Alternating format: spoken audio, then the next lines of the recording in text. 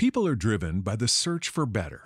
But when it comes to hiring, the best way to search for a candidate isn't to search at all. Don't search, match with Indeed. The hiring process can be slow and overwhelming. Simplify hiring with Indeed. Indeed is your matching and hiring platform. With over 350 million global monthly visitors according to Indeed data, and a matching engine that helps you find quality candidates fast. Ditch the busy work. Use Indeed for scheduling, screening, and messaging so you can connect with candidates faster. Join more than 3.5 million businesses worldwide that use Indeed to hire great talent fast. Listeners of this show will get a $75 sponsored job credit to get your jobs more visibility at Indeed.com slash P-O-D-K-A-T-Z 12. That's Indeed.com slash P-O-D-K-A-T-Z 12. Terms and conditions apply. We're excited to announce that our very own podcasting platform, Zencastr, has become a new sponsor to the show. Check out the podcast discount link in our show notes and stay tuned for why we love using Zen for the podcast.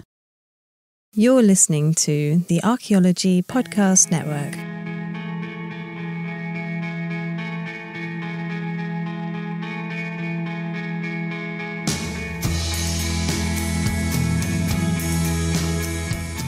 Hello and welcome to the Archaeology Show, episode 114. On today's show, we talk about Egypt, Peru, and China in prehistory and what they have in common. You might be surprised. Let's dig a little deeper.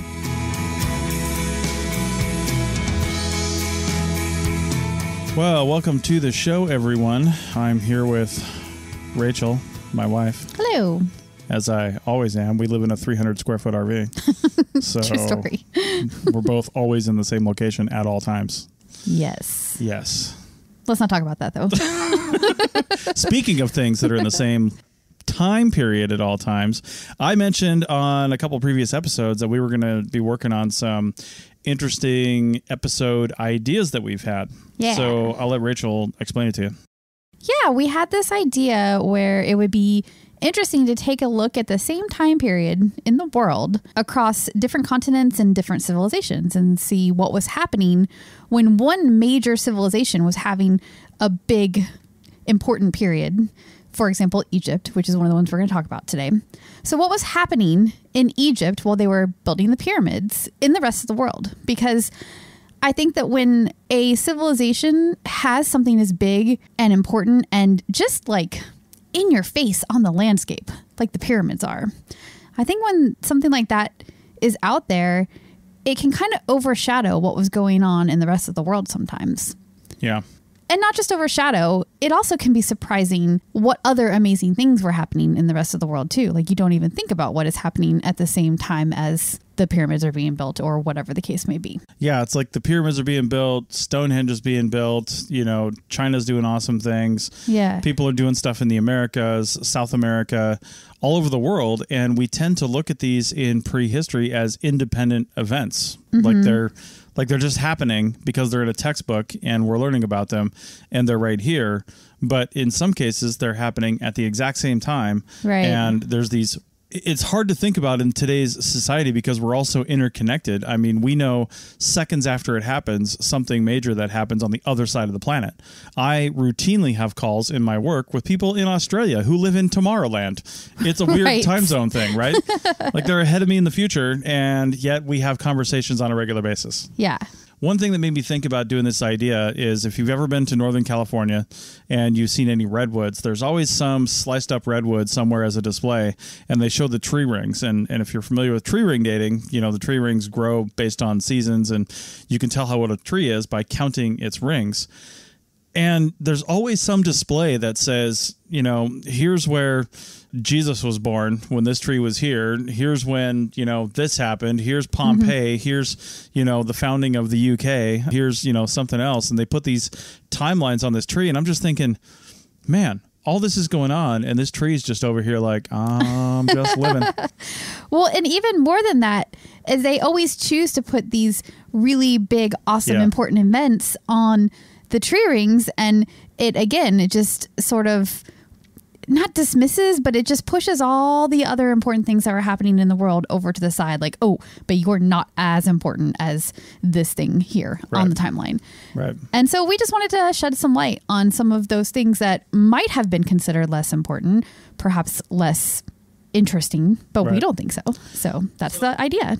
So how this works is we pick like an anchor time period or anchor civilization or something everybody knows about, right? Right. Like like for example, we said Pompeii, you know, something like that where it's a it's a well-known thing. What else was happening at that time? So we've structured this episode to talk about three different things. The first one is something that a lot of people know about, but maybe not have the depth of knowledge that we're going to give you and some of the finer details. But basically, the building of the Great Pyramids in Egypt. Correct. Yeah. And I know that we learned about this in school and everything, but I don't know about y'all, but for me, that was like 15 years ago, 20 years ago. Let's not talk about that. So Yeah. for me, researching this was, it was just a way for me to reconnect with something that I know I had learned at some point, but had forgotten. Yeah. So starting with the time period, we're talking about roughly 2600 to 2500 BCE. And that is during the Old Kingdom period in ancient Egypt. And to back up just for a second, there's the period that leads up to the Old Kingdom is the early dynastic period. It ends around 2613 mm-hmm. and they started building some pyramids and stuff in that time frame.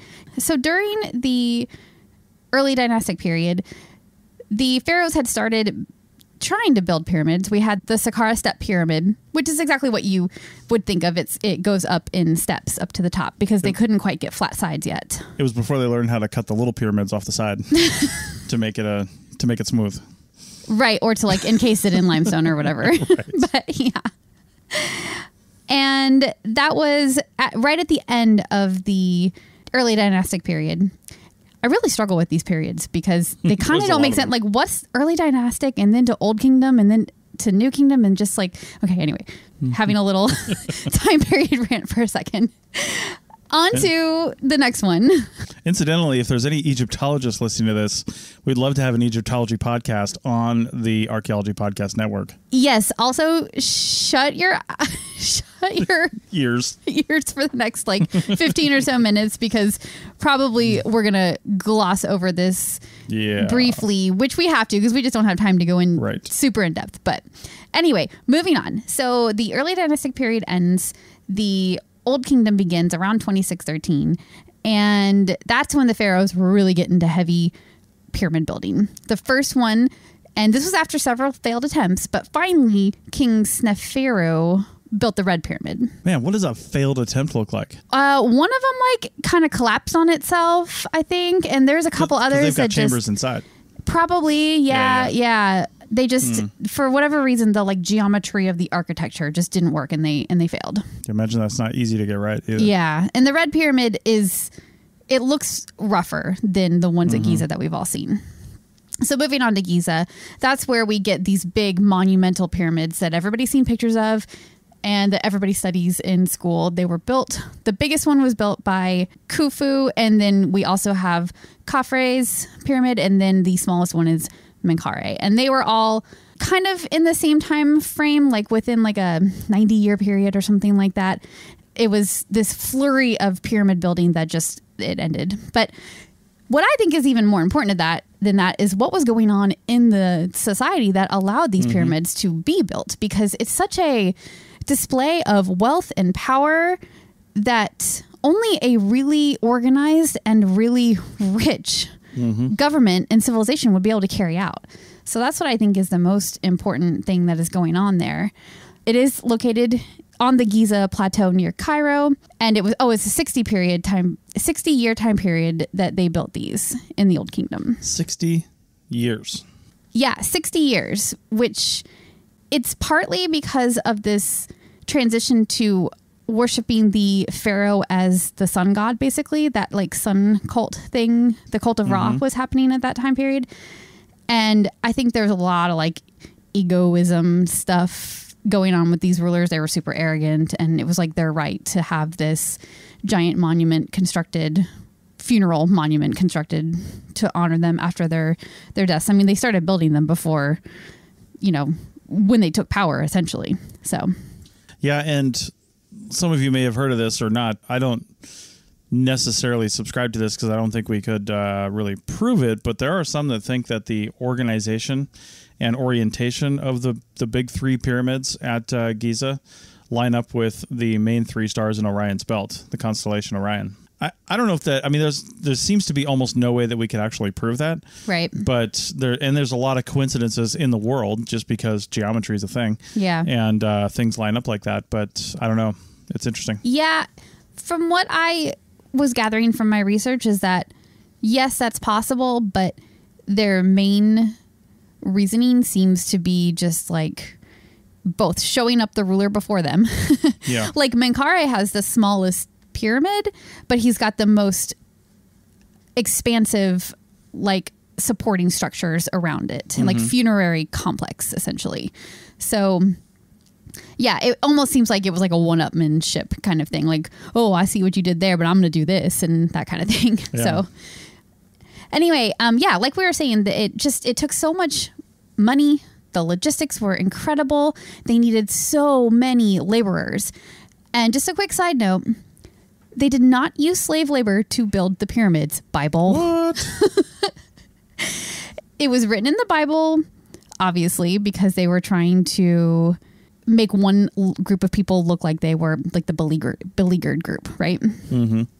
But we have extreme levels of evidence that the people who were building these pyramids were not malnourished, they were not badly treated, they were there of their own accord, and they were doing it for money and food. So mm-hmm. it was a. It was a workforce. It was a job. Yeah. Part of the reason is because of the flood season around the Nile, which was all the area that Egypt controlled. The flood season left them two to three months where they had nothing to do while the, the river was flooding. So, you know, they'd show up at the Pharaoh's office and say, Yo, give me some work. At the at the Pharaoh's office? Yeah. Yeah. That's what we're gonna call my office on CRM projects from now on. The Pharaoh's office. Uh-huh. Yeah. Well, if you want to get technical about it, there's a guy called the Vizier who was just below the Pharaoh, and he was like the logistics Yeah. organizer for pyramid building. I saw Aladdin. The vizier is always evil. so there you go. yep. The Grand Vizier. Oh, yeah. Yeah. anyway, I just wanted to get that point across that slaves there was there was there were slaves in Egypt. Yes, that that was a thing.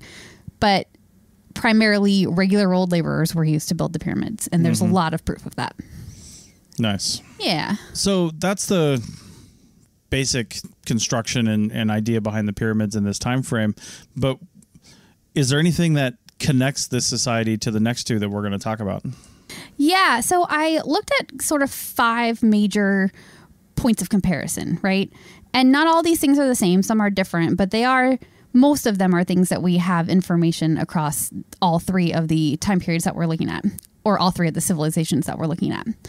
So the first one was agriculture because of course we're talking about, you know, Neolithic societies here. They are heavily into agriculture this time period, you know, 2600, 2500 BCE. Mm-hmm. They're for sure growing food. And Egypt had a very extensive agriculture system going on. And uh, in fact, the entire land associated with Egypt, the upper and lower area, it was all right around the Nile. The entire area was around the Nile. So their whole society was built around the water and the irrigation and agriculture and stuff associated with the Nile. So they actually developed a process called basin irrigation and they would build these earthen walls that trapped the water when the Nile flooded seasonally as we mentioned earlier and then they used that water to grow the staple foods like wheat, beans, lentils, roots and veggies and they even had fruit and things like dates, sorghum, I think I read watermelon. I mean, mm. I know. So like they were as far as vegetables go, they were like living it. So Nice. Nice. yeah. So agriculture wise, they for sure were a very complex society. They were developing processes and just super developed there. As far as relationship with other groups and other communities around them, they were generally a peaceful society, which you might not think, given what you read in the Bible and in other not so historical places. um, but they were overall pe- overall peaceful because They had to be in order to have so much excess money in order to build monuments like this. It's because they weren't spending that money to mm-hmm. go out and war with other places. Now they did expand to the south a little bit as far as the Sudan, probably just along the Nile. They just wanted to keep sucking up those chunks of chunks of land right next to the That- that Nile. riverfront property. Riverfront property. I mean, where would you build your pyramid? I be mean, seriously, you know, Yeah. water is everything. Yeah. Yeah. So then the third point of comparison is going to be religion. And we do know, of course, that they had the cult of Ra, worshiping the sun god or worshiping the pharaoh as the sun god. That was their dominant religion. And the pharaoh was the embodiment of that deity. And everything in the whole pyramid area was very focused on that. So, population. This is a bit debatable. There was one researcher who went through some really impressive and complex calculations to get to a population of 1.6 million. Hmm. That sounds huge to me. Yeah, that's a lot of people. That is a lot of people. Now the whole area was very big, all Yeah. the way down into you know middle, practically the middle of Africa along the Nile. So it's possible there is that many people, but Yeah, it's likely it was structured much like it is today, with just like the huge population centers being right down the river. Yeah, that that makes sense. But 1.6 does seem a little bit big, and it's definitely a number that is contested. But how can you prove otherwise either? Yeah. So we'll just go with that for now. And then the last point of comparison is the language and writing of the people in that area, and they, of course, we know they had language because of the hieroglyphs that we find that we find carved in all the tombs, and so of course they had a spoken language as well, and it's probably an Afro-Asiatic language, but other than that, we don't know a whole lot about the spoken language. But what we have the hieroglyphs, so we can presume that they had a pretty complex written language from that. So All right. Well, from Egypt, we're going to go to the opposite side of the world and talk about Caral in Peru, which coincidentally we mentioned a news story about Caral a few episodes back, uh, probably a couple months back. We're headed back there again in segment two, back in a minute. Chris Webster here for the Archaeology Podcast Network. We strive for high quality interviews and content so you can find information on any topic in archaeology from around the world. One way we do that is by recording interviews with our hosts and guests located in many parts of the world all at once. We do that through the use of Zencastr. That's Z E N C A S T R. Zencastr allows us to record high quality audio with no stress on the guest. Just send them a link to click on, and that's it. Zencastr does the rest. They even do automatic transcriptions. Check out the link in the show notes for 30% off your first three months, or go to zencastr.com and use the code TAS. When you need mealtime inspiration, it's worth shopping Baker's, where you'll find over 30,000 mouth-watering choices that excite your inner foodie. And no matter what tasty choice you make, you'll enjoy our everyday low prices, plus extra ways to save, like digital coupons worth over $600 each week. You can also save up to $1 off per gallon at the pump with fuel points. More savings and more inspiring flavors make shopping Baker's worth it every time. Baker's, fresh for everyone. Fuel restrictions apply. Menards is your destination for concrete landscaping blocks. We have the largest in stock selection at the lowest prices. Ready to take home today. Plus, you can get free estimates fast using our landscape design programs in store or on menards.com. Save big on concrete landscaping blocks right now at Menards. View the weekly flyer and all of our great deals happening this week in store or on menards.com. Welcome back to the Archaeology Show, episode 114, and we are talking about, I guess, parallel things going on around the world at a certain time period, what was happening at different places in different times, timelines. timelines. And we talked about Egypt, ancient Egypt, and now we're going to go to ancient Peru to a city called Caral and the people known as the Norte Chico. Yep, North Norte Chico. Norte Chico? Yeah, North Chico. like North Chico? Like California? I don't know. Chico means boy in Spanish, so, So North Boy. Mm. All right. Caral's um. North Boy. Let's talk about him. right. So Spanish speakers, ignore us. Moving on. yeah. So I was super interested in this, both because of what you mentioned before the break, how we talked about this area is being encroached on by the local population, sort of taking the land back for farming. Which is interesting in itself because clearly it's good farmland, which plays mm-hmm. into, you know, talking about this society. Yeah. Also, I was reading about it and I was like, man, all of this sounds so familiar. And then I was reading some of the names of the people that have done the research and I was like, gosh, those names, they're so familiar. And I did my field school in Peru many, many, many years ago. Hmm. And we did take one field trip away from the area we were working on to visit this super old site. And at the time, this is like early 2000s, it was you know just coming out how old this site was. Mm-hmm. And i do think that it was was Caral that we went to. So i feel even more connected to it because i'm pretty sure i visited it but good god that was 15 years ago. So like i could be totally wrong. Maybe we just visited like a satellite site or something like that. But mm-hmm. it was definitely associated with some of this really old stuff. Now, like we've been saying, this is the same time period as Egypt. So just imagine in your brain that everything that happened over there, way, way over there in Egypt, is going on at the exact same time as everything that we are about to tell you about right now. See, and this is what blows me away about these concepts is these people had no idea that No. across the world there was a admittedly even larger society Mm-hmm. doing crazy monumental things and these guys are just like, you know, doing their own thing Yeah. and even in other places of the same continent there were things going on that these guys probably had no idea about. There just Yeah. wasn't those kind of communication networks. Yeah, the like separateness of it all, but also like the human togetherness of it too because like even though, though they're developing at different rates in different places like it's still like development humans will always push forward and do better and create more and just speaks to the human nature i think that is one of the things that we're going to find out doing this series too is the societies and people and city states and and organizations and civilizations around the world even though they were developing in large part independently of each other when you get up to around you know 3000 and 4000 years ago or so the world was pretty small from the standpoint of it was small to you because you didn't know a whole lot about outside of you know where your area was. And i mean even if you're traveling in a thousand mile radius you know you got people that are going to venture out that's still not very far in the context of the whole planet. Right.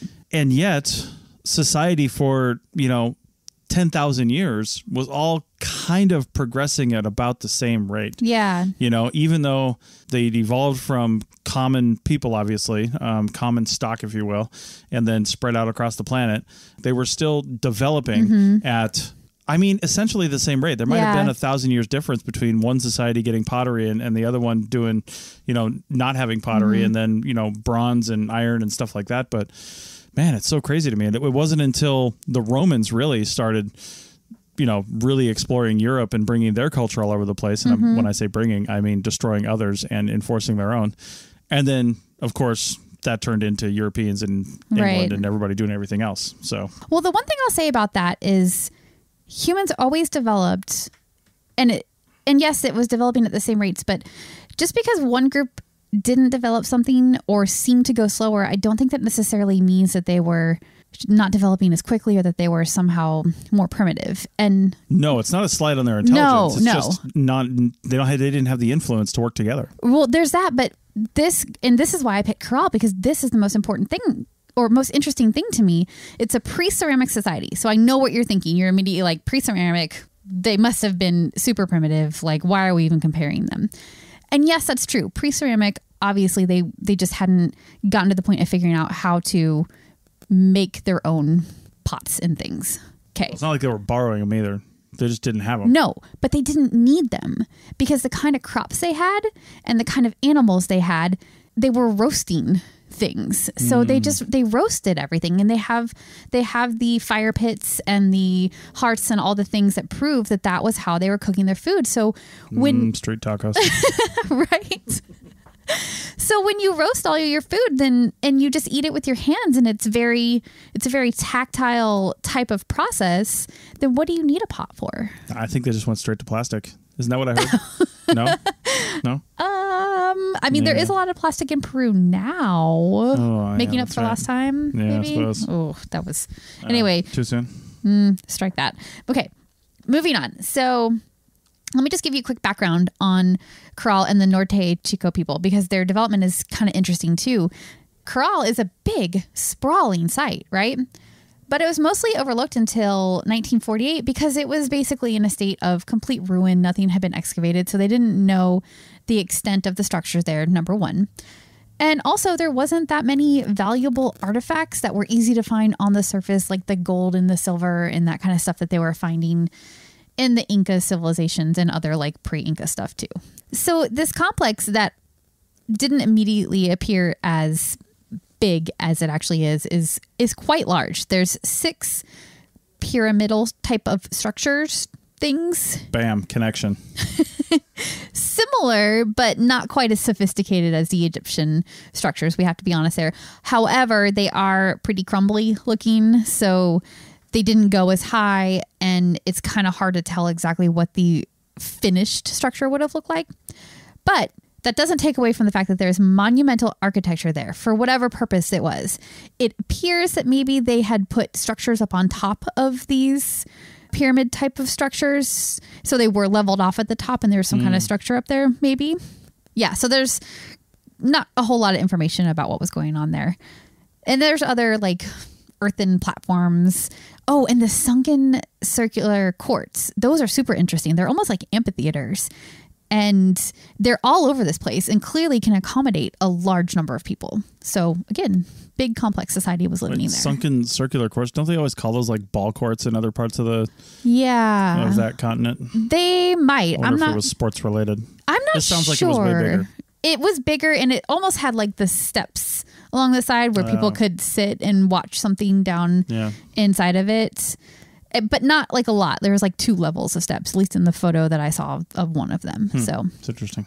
again, I don't really think they know exactly what they were doing there. It was probably some kind of ceremonial something or another. That's although I think archaeologists use the word ceremonial to describe anything that they don't know, right? So If you don't know what it is, hashtag ritual. hashtag ritual. This is going to be our next t-shirt. Oh my god. Head over to arcpodnet.com forward slash shop for all of our t-shirt supplies. Yeah, totally. yeah. Now I'm interested in the the pyramidal structures because that seems to be a lot of early societies had pyramidal structures. I They mean, did. partly because just architecturally and geometrically, uh, a pyramid is somewhat easy to make, Mm-hmm. right? I mean, soil.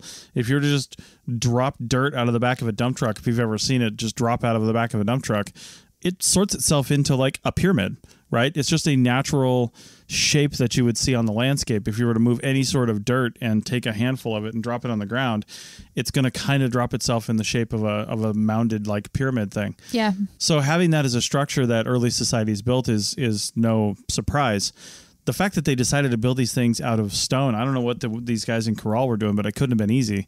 And it would be interesting to see a study of construction techniques across the planet when it comes to pyramids, although we don't even know, right? There's so many theories around how the Egyptians built their pyramids from Yeah. using kites and water and Yeah. logs and just dragging things up with big ramps and I don't know how how they did it here in but that's super interesting to me. Yeah. I do know that the the bricks in Caral are, are like mud baked type of Adobe Mm. style bricks, which makes sense because it was like the high desert area. So those can be baked into like near concrete yeah. consistency. Yeah, for sure. Yeah. I've been in this area. I worked in this area and it's like frigid temperatures overnight and then hot, hot, hot, hot during the day. So, Isn't that Reno? well, it's high desert there desert. too. So, yeah. Yeah, but Caral, like I said earlier, this is a thriving metropolis and it's happening at almost exactly the same time as the pyramids and the thriving community in Egypt was happening. So I just don't want to underestimate how important that this society was. You know, in the grand scheme mm-hmm. of, especially in South America, I think it is the oldest city that they found in the Americas, like of this, of this size and complexity. It's the oldest city in the Americas. Yeah, it'd be interesting to see some more detail about the prehistory of the area because that's another thing I'm interested in is like at the height of Caral versus say the height of I mean Egypt Egypt ancient Egypt lasted for uh, it sounds like much longer Yeah, uh, yeah. because I mean to be honest there's still millions and millions of people living in Cairo Yeah. so did it ever really you know have nobody there so for something like the last five to seven thousand years there have been people in that area of Egypt but I'm in- interested to see when people came to Caral, if we know that yet, and like how long it took them to develop into this type of society versus Mm-hmm. say Egypt because Egypt if they really did have even if 1.6 million's off by a little bit it still had to be at least a million Yeah. right it can't be off by that much Yeah. that's a lot of people and these monumental things you don't come to that overnight Yeah, and I think the difference here between Caral and Egypt is that Egypt had has the prehistory for Egypt begins sooner than it does in Peru, so they just had more time to to develop and more people in the same area and then the society was just bigger and more complex. There was more money, there was more time, there was more everything. They had artisans who, you know, like they had that super complex society with laborers that they could get this that kind of work done. And Caral had a little bit of that, you know, because they did have agriculture and they did have a, a complex society, and there were people that were building structures. So Well, that's another thing we might have to bring up in another podcast. Maybe find a guest to talk about this because they always talk about, you know, the the Middle East, what we call now, being the Fertile Crescent, where agriculture first developed in this world mm-hmm. historically, but it didn't only develop there. Which is the interesting thing. It's not like they invented agriculture in prehistoric Iran and said, "Here you go, rest of the world." yeah, like handed it out like a gift to everyone, agriculture, everyone. everyone else. Yeah, and, Yeah. and they weren't like, I'm going to head over to South America and do me some agriculture. Like that didn't happen that way. Right, right. So where was the development of agriculture in other places? Yeah. you know, I mean, there were there were societies that just never developed an agricultural practice because they didn't need to. They didn't Like, need a lot to. Of, yeah. um, there were a lot of Native American groups that never developed agriculture. Yeah, they didn't yeah. need to. They had everything they needed. In fact, in our next segment, we'll be touching on the fact that there were still a lot of hunter gatherer cultures Yeah. in that area. So I really do think that we need to flip our mindset from thinking that one culture is more primitive compared to another and just think of it as one developed the skills and the things that they needed to survive on the land that they were living on. Why would they develop more if they didn't need more? You know? It's really like millennials and boomers. So Oh, here we go. millennials like need the internet and their Snapchat accounts and TikTok and whatever else is a new thing that I've never even heard of. Whereas boomers are like, I don't even have a Facebook account because I've evolved to not need one. So there's your there's your parallel right there. Yeah, I'm not so sure that quite works. Although I will say, I haven't told you this yet. This is gonna be really fun for me to tell you. I made a TikTok account for the for APN today. Oh my god. Look for uh, interpretive dance by Rachel no, on our TikTok account. no, I'll put our audiograms on there anyway. Right. Okay, so moving on because we're going a little off the rails here. There's only a couple other things I wanted to say about Caral. It was a very large and spread out complex, and it looks like it was spread out over 150 hectares or 370 acres. It contains tons of plazas, tons of residential buildings, and everything that you would see in a large complex society. Very similar to all the things that you see in like a basic Egyptian society too at this time the difference being that there was fewer people here which i'll mm-hmm. talk about when we talk about our five points of comparison their population was was a lot smaller probably there's two other things i just want to say about this culture. There's a large geoglyph just outside of like the main structure and it's it's huge. They it, they didn't even see it until like i don't know the 60s or 70s or something. But it's a large like human face with an open mouth and it's similar to like uh, nazca lines if you can think of that. I don't think it's quite on that scale but it's really big. And that is interesting i guess we don't really know what time period it relates to but it is interesting that it is right outside of the one of the main complexes and the other thing that I found super fascinating because it's so easy to say that these primitive cultures, they didn't have any art or whatever, but they found tons and tons of flutes. So they had music. And music and art and that creativity, it all kind of goes hand in hand. So if you need a culture to have art in order to call it not primitive, bam, done. They had flutes. Yeah. There you go, flutes. flutes. so, our five points of comparison, let's talk about agriculture. Now, there's a bit of a debate over whether or not their diet was primarily seafood or if it was agriculturally produced, like maize or something like that. But likely it was a mix of both, is kind of the conclusion that I've come to. Where'd they get the seafood? Didn't they live in the high desert? Right. So it's very close to the ocean. Like, Ah. like I think there's one Quick small walk down the hill. yeah, basically. And there's a lot of satellite communities along the coast. And this is the weird part is it looks like their their staple crop was actually cotton, which you hmm. can't eat. However, you make fishing nets with it, you send it out to the coast, and then the coast brings in fish, which is it kind Yeah. of becomes your staple food, right? So I think they were just structured a little bit different differently than what you might think of. And again, that goes back to the idea of not all societies are going to be the same and this one just figured out a way that worked for their area and what mm-hmm. they the resources that they could easily get access to. So there's a bit of a debate there. And the cotton and the fishing nets and stuff like that, it kind of comes into play in the next one, next bullet point, which is relationship with other surrounding groups. And again, we do think it's peaceful. There's no evidence of like the military presence or fortifications, no human remains that had major injuries or anything like that. And we definitely know that they traded with the coastal communities to get the fish and stuff like I was talking about with the nets. They probably traded cotton for fish and stuff like that. And there is some monkey depictions on some of the items that mm. they found there. And that might mean that they were trading inland too, to inland communities as far as the Amazon, which is where monkeys would be. So I would assume somebody's done some sort of environmental analysis to see what this looked like 5,000 years ago. Maybe monkeys lived there.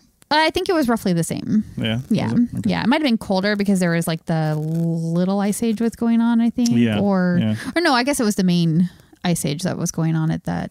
I mean, it would have been near the tail end of it, but this is still like, Yeah. you know, Peru.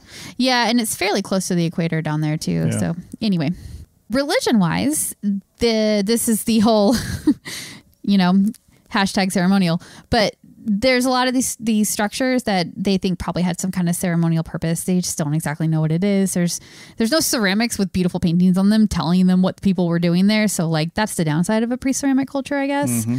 And the same with like their buildings and stuff. They I think they have some images of things, but just not enough to really give them an, a good idea of what they were worshiping and stuff like that. But they definitely had some kind of organized religion, something like that. So they say you can't judge a book by its cover. And I don't know who came up with that phrase because book covers are designed to illustrate what's inside the book. I wrote a book and there were many cover designs all illustrating what was inside of the book. And it's very true with human nature as well. I mean, we kind of joke about defaulting to religion and things like that, but if you look around the world, there are a lot of commonalities with how people practice religion and spirituality and ceremonial purposes for Yeah. similar societies. If you see all the signs, chances are this. It, it probably is, and Yeah. and it does seem like that was a big part of life because when you had a lot of things going on that you didn't know how to explain, you had to have something, you know. Yeah. So the second to last point is population. They are estimating around three thousand in Caral, the city, and then potentially like twenty thousand in the whole area, which you know that's a lot less than Egypt. But I think again we're talking about sort of a carrying capacity thing almost here. Like that was what the land could could hold, and that was what the the people grew into, and yeah, and with the resources that they had. So. right. And oh, language and writing. Oh man, this is one last really cool point. So I'll bring it up quickly. But we don't really know much about what their spoken language was. However, there is evidence that they had a quipu there. Hmm. And quipus are made of cotton, which we know they had cotton. And they're these strands of yarn. Knots. Yeah, yarn for lack of a better word, because I'm a knitter and you know everything relates to yarn for me. So strands of yarn with knots in them, and those knots would would convey information Right. probably of a just a record keeping type of information Mm-hmm. not necessarily like a narrative kind of information i don't think they were using it to tell stories so much No, I've heard of things like inventories and things like Yeah, that. They yeah. kept on quipus, although they're very difficult to read. So, they are and they're very complex. and one last note about this quipu in particular is you have to put pretty big air quotes around it there's debate as to whether or not it is actually a quipu i saw the picture i mean it looks like strands with knots in it Yeah. but It's also not hard to do if you own a bunch of cotton. No, but there's like a huge stretch of time between that one that they found, you know, 2,600 years ago and the next most recent one. There's like a thousand years between them or something. And it's like, okay, but where's the evidence? Like, where's the evidence in between those two examples? So, All right. Well, if you've uh, felt a lack of pottery in your life for the last 20 minutes, we're going to move over to China and solve that problem. yeah. Back in a minute. You may have heard my pitch for membership. It's a great idea and really helps out. However, you can also support us by picking up a fun t-shirt, sticker, or something from a large selection of items from our TeePublic store. Head over to arcpodnet.com slash shop for a link. That's arcpodnet.com slash shop to pick up some fun swag and support the show. Save on O'Reilly Brake Parts Cleaner. Get two cans of O'Reilly Brake Parts Cleaner for just $8. Valid in store only at O'Reilly Auto Parts. Oh, oh, oh, O'Reilly Auto Parts. People are driven by the search for better. But when it comes to hiring, the best way to search for a candidate isn't to search at all. Don't search, match with Indeed. The hiring process can be slow and overwhelming. Simplify hiring with Indeed. Indeed is your matching and hiring platform. With over 350 million global monthly visitors according to Indeed data, and a matching engine that helps you find quality candidates fast. Ditch the busy work. Use Indeed for scheduling, screening, and messaging so you can connect with candidates faster. Join more than 3.5 million businesses worldwide that use Indeed to hire great talent fast. Listeners of this show will get a $75 sponsored job credit to get your jobs more visibility at Indeed.com slash P-O-D-K-A-T-Z 12. That's Indeed.com slash P-O-D-K-A-T-Z 12. Terms and conditions apply. Welcome back to the Archaeology Show, episode 114, and we are talking about our third parallel timeline here, and that is China. And Rachel and I have been talking about this show for a long time, this type of show for a long time. And every time I thought about what we would talk about in this, I kept thinking, man, I have no idea what's going on in China. Like, Right. Yeah, you learn about so many things, and it's just like, man, I literally have no idea what's going on in China right now. Like in school, it's like Great Wall, Terracotta Army. Okay, done. Move yeah, on. But China managed. Yeah. yeah, and I always remember China from the TV show MASH because uh, I know it's like an old thing. You remember MASH, the I- army show? I think I'm a little young even for reruns, They're but maybe. Somebody was because they were in like Vietnam or something, and one of the guys was like talking down about the Asians, basically the Asians. Let's call it the Asians in the '70s, and uh, and he said, you know, they invented movable type in 1492, and and the one guy who was like the lead, he's like, I know, I was in 1491 and I didn't sleep all night. Oh my god. I don't think it was 1492, whatever the date was. Oh my god. They like invented a lot of stuff, and oh my god, I always remember that joke. Yeah. And it's from Mash. Okay, China, hit it. That's good. Quote old racist TV shows. That's a great way to start this segment. And moving on. so we are, like you said, going to China to a Neolithic culture, like all these have been, and we're in northern China, in the Yellow River region, and the culture is called the. Oh boy, here we go with the names again. Majiayao culture. Majiayao. Majiayao. Who knows? Okay. Well, go ahead and write us if we said that wrong and correct us. That's fine. Yeah, make sure you put the phonetic spelling in the email. yeah. Yeah. So this is a Neolithic culture. And honestly, I was reading about them and I really wanted to include them. And there's a specific reason why.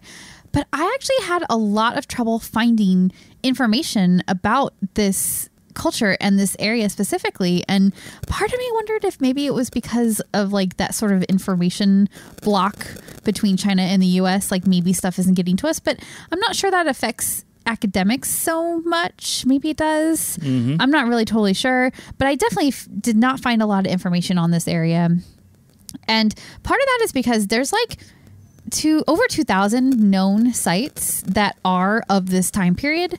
However, only like 50 of them have been excavated ever, like ever ever. Hmm. So they just ha- nobody has put no, I'm sorry, that's not true. I don't want to disqualify the efforts of people who have worked in this area, but there just hasn't been a lot of interest in these groups.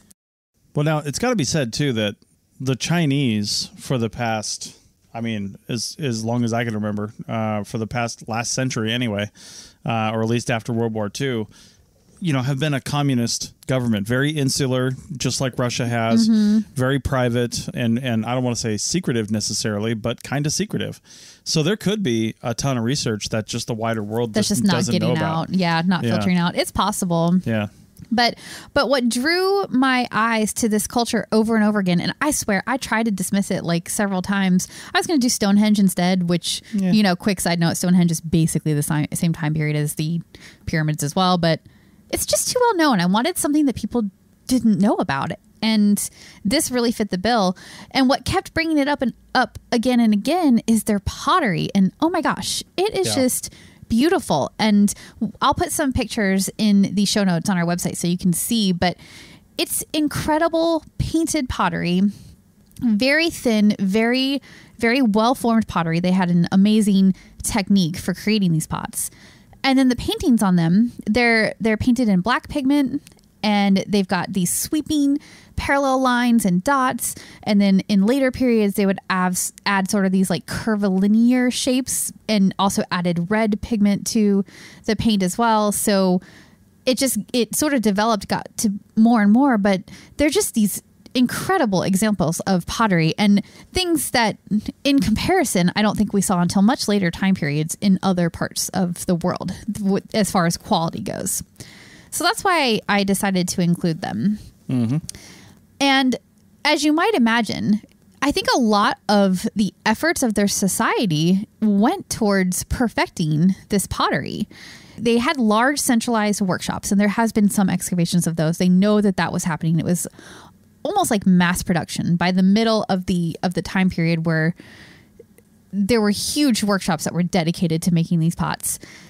They had a hand wheel. They were wheel turning these pots. Nice. I don't know what the the date range of the wheel is. It was a hand wheel or a hand crank type of thing, obviously, not the foot pedal thing yet. But still, they were wheel turning these pots, and uh, it just took an incredible amount of infrastructure to make all of this happen.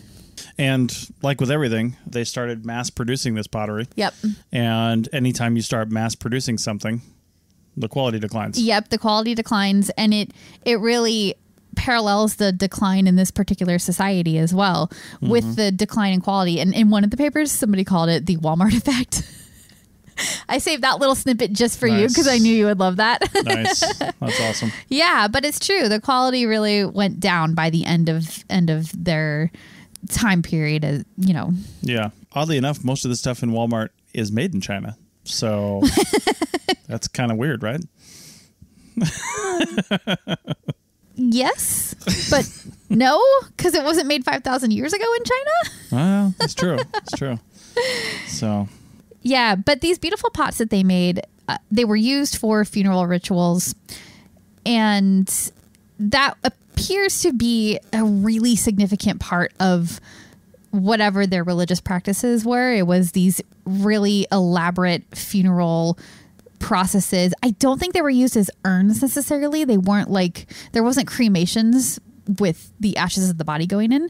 It was more like they were Um, offering they were used in offerings hmm. for something during the mourning process. right. And that was the big thing that really drove this society. They had agriculture, they had the other things. They were pretty small. They had no monumental architecture that I could see, no pyramids or anything like that going on. But I think that that has to do with the again, they didn't need it in the area that they were living in and and their efforts were focused on making these pots. Their skilled workers were were learning how to make these pots, not learning how to make giant bricks to turn into pyramids. Hmm. So just in, a different direction of focusing their effort Right. was very interesting to me.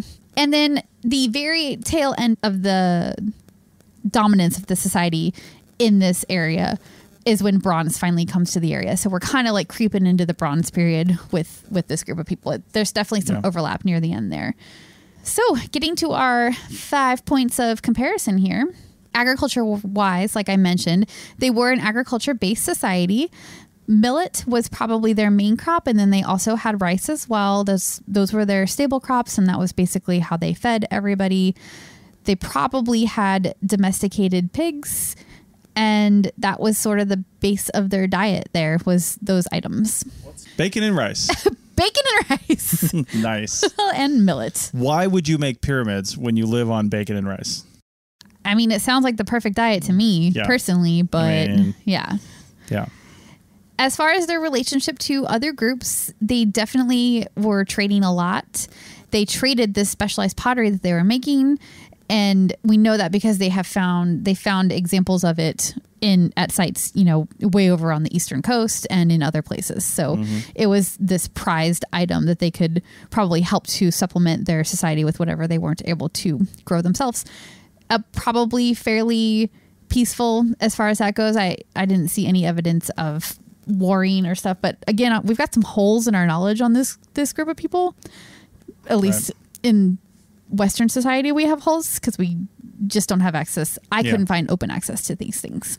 Their religion, again, mostly unknown, but it's probably shamanistic. This painted pottery was very significant, like I said, and it it played a major role in whatever their funeral funeral rites were, which indicates some kind of pretty strong religious presence, whatever it might have been for them. Population. This is basically unknown. Again, they lived in these dispersed villages, sort of dotted along the main rivers in the region, and we just don't really have any idea how many people it was. It was probably in the thousands, but we don't have a good a good estimate. And again, that probably comes from lack of data. I bet we could get a good estimate if there were more excavations and more people interested in finding out the answer to that question. Right. So, future archaeologists, go study, go study these people. and then language wise, we don't know. That's a big question mark. I don't know. We don't know what kind of language they had. They must have had a language, but we don't know. Wow, there was no there was no writing or early early Chinese on the uh Not that I saw. Not no no writing on the pots. Yeah. It's all very geometric design. That's interesting because they, I imagine. I mean, they had language. They spoke Yeah, to each other. they must Obviously, you can't have this kind of culture without transmitting those ideas. Right. But a written language, I mean that that that only comes about because of necessity. Right. You know, and maybe they didn't have a necessity for it in that area. I don't know. I'd be interested to see the history of the. The, because I think I saw in some of these texts, some of these sources that you had here that I read that you know the Chinese written language, what do they call it? Traditional or simplified Chinese or something like that. Yeah. it goes back a long ways. It does. Yeah, I mean, we might not have Yeah. any evidence here, but maybe they didn't have anything that survived that they wrote on. Yeah, You know? and I did go down a little bit of a rabbit hole trying to find language because when I decided on my points of comparison between the three different civilizations, I wanted to have at least something for each each Yeah. one, and so I started trying to like research ancient Chinese language, and I just it gets so sketchy when you go back that far. They might have had something I just couldn't connect definitively to this specific group of people. Right. All right. Well, that uh, about does it for this first uh, timelines episode. What do you think we should use as an anchor event for future episodes? Yeah. And again, I like it to be something really well known. Like Yeah. if you say to just about anybody on the street, "Hey, have you heard of this? Stonehenge is something we mentioned. The pyramids are a good one." Mm-hmm. In the in this country, in the United States, we could say Cahokia. If you're in the Midwest, you know what Cahokia is, Right. You know what was going on when when Cahokia was happening. Other things, you know, it doesn't even have to be prehistoric. Really, I'm kind of interested in other stuff as well, Mm-hmm. like you know the the founding of London Yeah. you know what was happening when london was becoming a city what was happening in other parts of the globe or or rome or you know cairo for that matter Yeah, there's some interesting parallel civilizations that you don't actually think of. And I would love to hear what civilization jumps straight into your mind when you think, wow, that place was awesome. I would love Yeah. to get in my time machine and go back there and visit. Like, what are those places? Because that would be perfect to use as an anchor point, a jumping off point to be like, well, you think you want to go back and see what was happening when. William the Conqueror took over 1066 in England. You think you want to go? Well, maybe you don't actually. That was probably a pretty, pretty dirty and bloody Yeah, time. But not but so great you think you want to go back and experience that, but I'm gonna tell you what happened over here on the other side of the world, and that Yeah. could be way more interesting. so we'll always try to start with the the anchor event or civilization or time period or something like that but like i I really want to know, you know, more about China. You know what was happening there, what was happening in Russia before it was Russia. Yeah. You know that whole Yep. that whole northern part of the continent there. Like what was going on up there? Yeah, you know for sure. doesn't Russia span two continents? It's both Asia and Europe. Yeah, I Yeah. don't know where the split is, but yeah. yeah, I mean, like what was happening in that area? Yeah. you know, We just- definitely. we we don't as Americans specifically. Probably our European audience has a little bit more history because of proximity, but Mm-hmm. As Americans, we just don't. We hear the highlights, mm-hmm. and and not even that many of those. yeah. Like you said with China, it's like Great Wall done, right? Yeah. Like we know about that now, and also because it was a Tom Cruise movie, so now we all know about the Great Wall of China. Oh so there you go. Wait, what was that movie called? I don't even know, but I think he fought like monsters or something on the wall. Oh, oh, Was it like aliens or something? Like that's Oh. why they built the wall. Oh, oh, that's right. It's like Yeah. a weird sci-fi fantasy type of thing. And he wasn't even Asian. Like he was visiting or there. Yeah. He was called in as like a warrior so many problems because the Chinese couldn't handle it. Bring in the white man. So many problems. Yeah. man. Yeah, so many problems. Yeah. So anyway. All right. Well, again, send in your suggestions for what place or time period or culture you'd like to know about, and maybe we'll try to find the opposite, find the anchor event. But also send us your your your your favorite anchor events. Yeah. And we'll uh, see if we can find some parallel timelines around that. Yeah, definitely. And if you're listening to this and you're an archaeologist or historian and you're an expert in a specific time period or place or something and you want to talk about that segment, come on in. Let's do it. Yeah, definitely. Yeah. So, Chris at Archaeology Podcast Network for all of that. Also, if you want to help support us, arcpodnet.com forward slash members. You may have heard this at the beginning or end of the show. Also, you can go to arcpodnet.com forward slash shop. Just go to arcpodnet.com. There's a lot of stuff there. But Yeah, for forward sure. slash members, you can support us monthly. If you want a t shirt, if you want, we got some cool designs, uh, a lot of neat stuff. Not just t shirts either. If you want a new phone case, if you want a, a Android or I, uh, iOS, if you want a, uh, a pillow, I had an APN pillow that when we moved into an RV, I had to part ways with. I'm a little sad about that.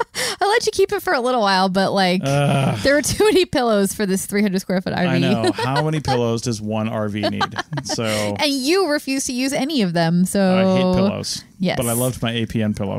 You love I looking at don't know why. So anyway, lots of cool stuff on there. Go check it out. All that helps us, you know, keep doing these podcasts and and keep the light on. I mean, we're recording this at, you know, late in the evening on a Friday. So because that's how it works. Don't tell them that. God. I won't tell them which Friday. So anyway, It's the night before it goes out. No, that's not true. All right. So thanks for listening. Send us your suggestions. You can go to the website, leave a note on the contact form there, pretty much anonymous if you don't want to just send us an email. Chris at archaeologypodcastnetwork.com. And please, please, please check out the membership, the store, and all the other fantastic shows on the APN. We'll see you next week. Bye.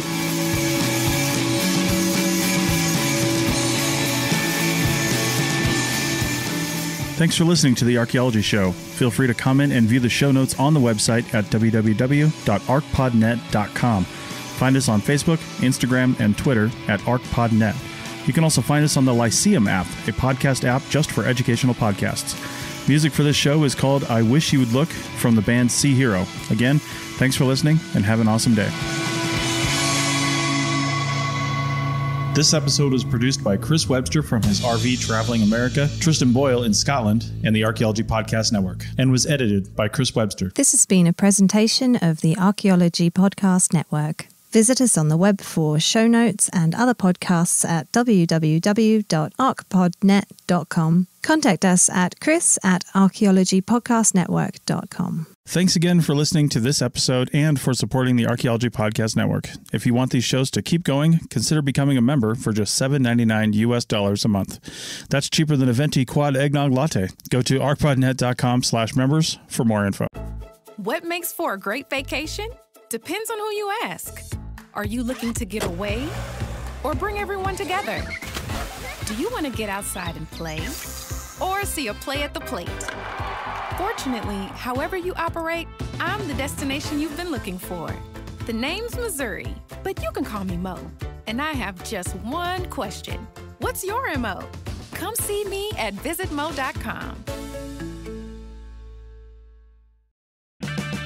Save on O'Reilly Brake Parts Cleaner. Get two cans of O'Reilly Brake Parts Cleaner for just $8. Valid in store only at O'Reilly Auto Parts. oh, oh, oh. O'Reilly Auto Parts.